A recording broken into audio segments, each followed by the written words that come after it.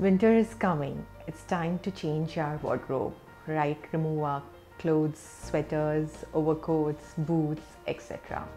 But at the same time, our skin also changes. So it's time to change our skincare routine too. We need to swap the products according to the changes in the skin. Winter leads to skin dryness and the skin feels very, very dehydrated.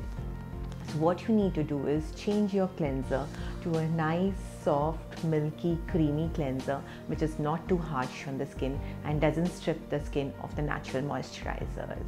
Also, Stop toning your skin with harsh products which contain too much alcohol content. Use products or, or toners which have less alcohol content, maybe around 0 to 5%. Rose water being one of the best. Or something which helps in maintaining the skin pH. Use lots of moisturizer, not only on the face but also on the body, which will help in hydrating the skin.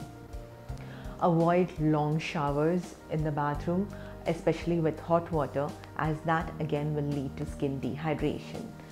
Put on moisturizing lotions on your body, especially something which has vitamin E and which can hydrate your skin and maintain the pH balance of the skin.